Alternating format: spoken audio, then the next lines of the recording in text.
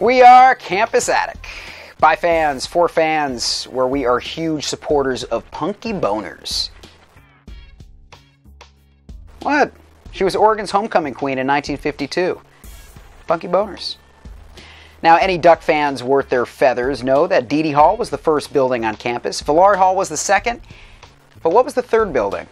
Well, there's an interesting part of Oregon history that gets overlooked, but we're going to talk about it today. The observatory up on Skinner's Butte.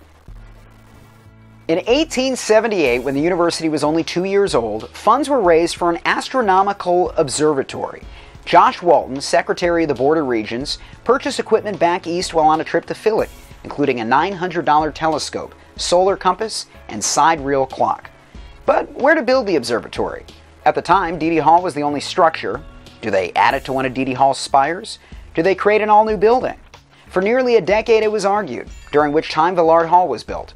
In 1888, they finally decided. The school bought land on top of Skinner's Butte and built a small replica of Villard Hall, complete with a retractable roof for views of the night sky. Classes in astronomy and celestial mechanics were held inside, but there were a couple problems for the building that made it doomed from the start. First of all, it was difficult for students to travel all the way up Skinner's Butte from campus. Second, an open roof to the night sky didn't do much good during the school year, when most of the time it was cloudy and raining. In 1890, the school bought Collier House from Professor Collier, located across 13th from campus. Today it's used as offices for the music department, sandwiched between Johnson Hall and the EMU. At the time, Collier House came complete with a barn, which was rebuilt as classrooms and an observatory known as Barn Hall, where Hendricks Hall stands today.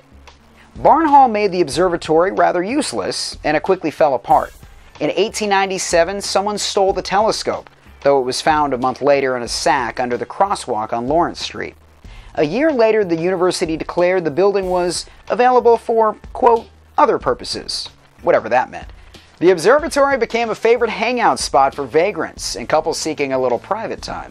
You know, because there's nothing sexier than an abandoned building where homeless people sleep. Interclass battles would take place up there, and it became a tradition for freshman classes to tag it with their year.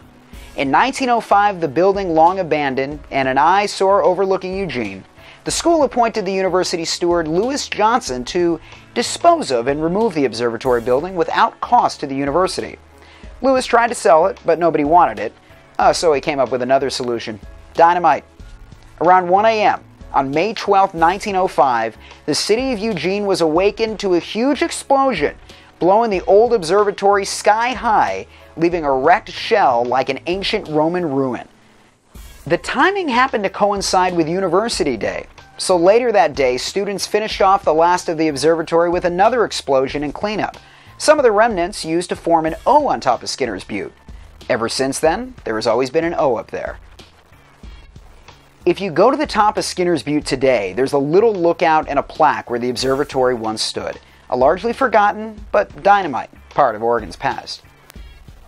But one tiny piece of the observatory still remains, and students walk by it every day without noticing.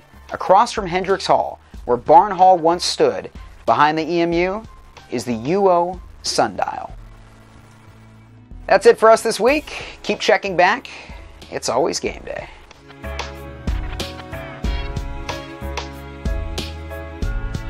Bye.